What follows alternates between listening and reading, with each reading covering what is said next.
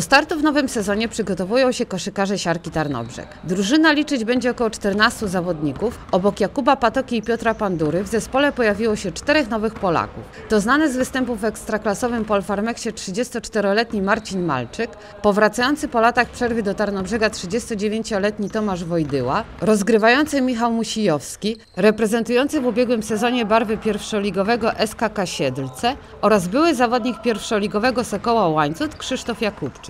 W drużynie zagrają również nowi Amerykanie. Mierzący 211 cm, grający na pozycji centra Darren Nelson Henry, silny skrzydłowy Alex Welsh oraz niski skrzydłowy Mike Brown. Y, Nie są drodzy chłopcy, którzy po uczelniach chcą się pokazać i, i dlatego na, na tej zasadzie bazujemy. I była rozmowa o niedużych pieniądzach, ale trzech, tych co jest teraz, od jednego menadżera, także oni sobie zdają sprawę, nie przyjechali tutaj zarabiać dla pieniędzy, tylko dla koszykówki.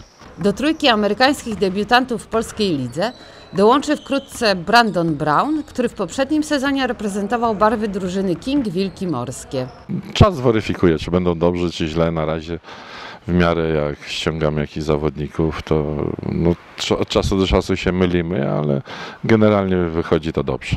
W zbliżającym się sezonie trenerowi Pyszniakowi pomagać będzie 26-letni Dominik Rotkiewicz, który będzie pełnił rolę drugiego asystenta w zespole siarki. Rotkiewicz jest absolwentem AWF w Poznaniu, ukończył również fizjoterapię na Uniwersytecie Rzeszowskim. Od 2014 roku posiada własny koszykarski klub Rak Rzeszów, gdzie pełni rolę trenera oraz menadżera. To jest chłopak, e, który był w Stanach kilka lat. Bardzo dobrze mówi po angielsku, ma wiedzę koszykarską. Pracował gdzieś tam na uczelniach, był asystentem.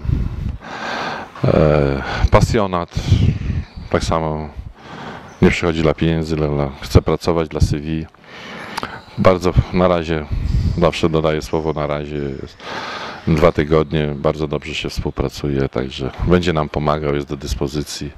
A mi zależało, żeby był jeszcze człowiek do pomocy, bo po prostu e, papka uczy w szkole i to tak nie za bardzo wyglądało ze zwolnieniami, ze wszystkim, a, a on jest dyspozycyjny, także tutaj nie będzie problemu. Pierwszym sprawdzianem formy tarnobrzeskich koszykarzy będą Mistrzostwa Podkarpacia, które w ten weekend odbywają się w Stalowej Woli. Z kolei w nadchodzący weekend w Tarnobrzegu odbędzie się kolejna edycja memoriału imienia Kazimierza Wacławczyka i Witolda Kusia. Będzie Legia Warszawa, Start Lublin i Mosir Krosno. I od razu przed meczem, najprawdopodobniej w piątek, jeszcze godzina chyba 17.40, po pierwszym meczu będzie prezentacja zespołu przedsezonowa. Doleci czwarty zawodnik Brown 14, także na 16 będzie. Pierwszy mecz ligowy koszykarze siarki rozegrają 8 października, podejmując Turów z Gorzelec. W ramach siódmej kolejki drugiej ligi Siarka Tarnobrzeg podejmowała Raków Częstochowa. Rywal tarnobrzeskiej drużyny notuje bardzo dobry początek ligi. Obok Odry Opole jest drużyną, która jeszcze w tym sezonie nie przegrała. Pierwsza część spotkania obfitowała w dobre sytuacje ofensywne ze strony obu drużyn. W dziesiątej minucie Raków mógł otworzyć wynik spotkania. Rajd Piotra Malinowskiego zakończył się podaniem do Przemysława Mizgały. Strzał pomocnika Rakowa z linii bramkowej wybił jednak Michał Dawidowicz. 10 minut później to Siarka miała najlepszą okazję do zdobycia bramki. Po dośrodkowaniu z rzutu rożnego strzał Bartosza Walencika instynktownie broni jednak golkiper Rakowa. W 42 minucie kolejną świetną sytuację Częstochowian marnuje Adam Czerkas, strzelając obok bramki w sytuacji sam na sam. Chwilę później przed utratą gola do szatni Siarkę ratuje Karol Dybowski, który kapitalnie broni po strzale Tomasa Petraska. W 53 minucie Raków wychodzi na prowadzenie. Po dośrodkowaniu w pole karne bramkę dla Częstochowian zdobywa wprowadzony do gry w drugiej połowie Konrad Zaradny. W kolejnych minutach goście mieli okazję do podwyższenia prowadzenia, jednak bez powodzenia. Świetną okazję do wyrównania miała również Siarka, jednak strzał Marcina Stefanika w 64 minucie minął w znacznej odległości słupek bramki gości. W 85 minucie wysiłki piłkarzy tarnobrzyskiej drużyny w końcu przynoszą zamierzony efekt. Po dośrodkowaniu w pole karne Marcin Stromecki oddaje strzał, przy którym Tomasz Loska nie miał nic do powiedzenia. Ostatecznie mecz kończy się remisem. Dla Rakowa oznacza to utrzymanie statusu niepokonanej drużyny, dla Siarki zaś podtrzymanie passy bez porażki na własnym stadionie. Na pewno nie jesteśmy do końca zadowoleni, tym bardziej, że wiadomo, jak się traci bramkę gdzieś w końcówce, no to tak, taki pozostaje niedosyt. ale, ale mm, ten remis e, musimy przyjąć, zresztą nie mamy innego wyjścia. E, Ja się cieszę, że nie przerwaliśmy swojej serii meczów bez porażki. I to jest dla nas też, też ważne, bo punkt na tym terenie na pewno, na pewno uszanujemy w, ostate, w ostatecznym, mam nadzieję, rozrachunku, że, że on będzie dla nas cenny. Gratulowałem zawodnikom jednego, że grali do końca, że grali, dążyli do zmiany rezultatu. To nie jest łatwe. Łatwo gra się mecz, tym bardziej dla zawodników, którzy wchodzą w tym momencie przy wyniku 0-1. No ale co się okazało? Zawodnicy, którzy weszli na boisko, wnieśli dużo ożywienia, no i ten mecz wytrzymali do końca. Z jednego jestem niezadowolony, to z tego, że mamy mało punktów bo i w Kotwicy, i w Błękitnych Stralgach tych, tych punktów mogło być ciut większe, bo tutaj uważam, spotkaliśmy się z przeciwnikiem, który, który jest wartościową drużyną, który na pewno mierzy bardzo wysoko, Wawas. A co jeszcze ciekawe, to co ja pamiętam, za mnie to wszystkie mecze były przegrane z Rakowem, nie wiem, wy wiecie chyba więcej.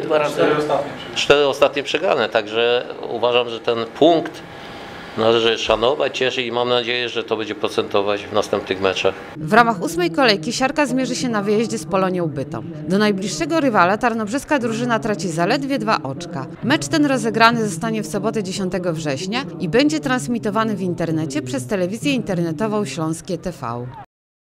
Remisem 1 do 1 zakończył się mecz Stalinowa Dęba z Czarnymi w Jaśle w ramach szóstej kolejki czwartej Ligi Podkarpackiej. Kolejnym rywale zajmującej 12 lokatę stali będą Błękitni z Robczyc, do których nowodębski zespół traci 3 punkty.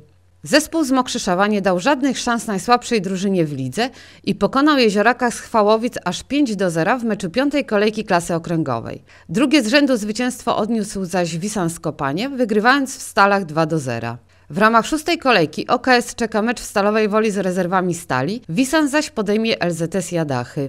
Kolejne wysokie zwycięstwo zanotowały rezerwy Siarki Tarnobrzeg, pokonując LZS w Podwolinie 6 do 2 w meczu czwartej kolejki klasy A. Drugą z rzędu wygraną zanotowała Koniczynka, pokonując u siebie Sankłyżów 2 do 0. W ramach piątej kolejki rezerwy Siarki podejmą Łęk Stany, Koniczynka zaś pojedzie do Rzeczycy Długiej. OKS Wielowieś nie dał żadnych szans wspólnocie Serbinów, pokonując rywali aż 5 do 1 w meczu trzeciej kolejki B klasy. Swoje mecze przegrały zespoły z Sobowa i Zakrzowa. Iskra uległa LZS-owi w Krzątce 0 do 3, Junior zaś Łęgowi w Kopciach 0 do 1.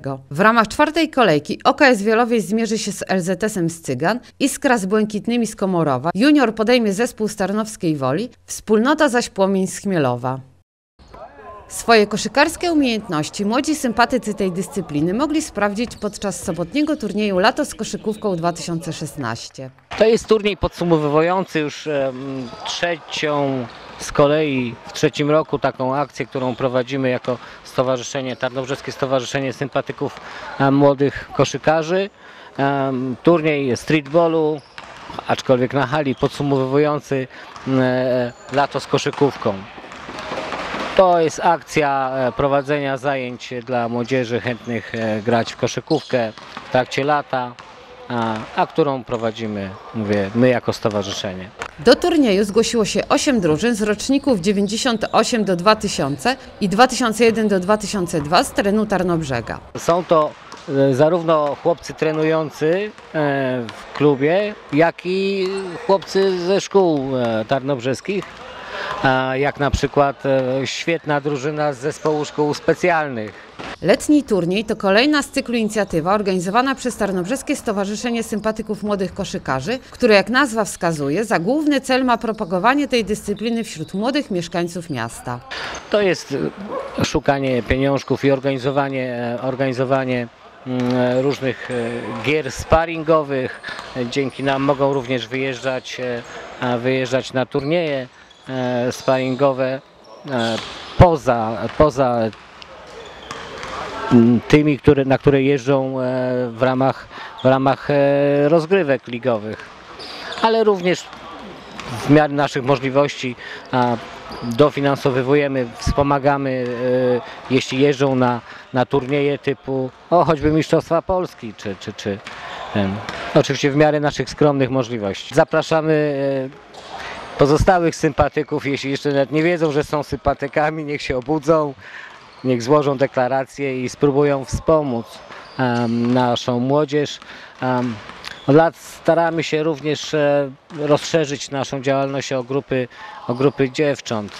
Jak na razie, jak na razie się to nie udaje, ale cały czas intensywnie o tym myślimy.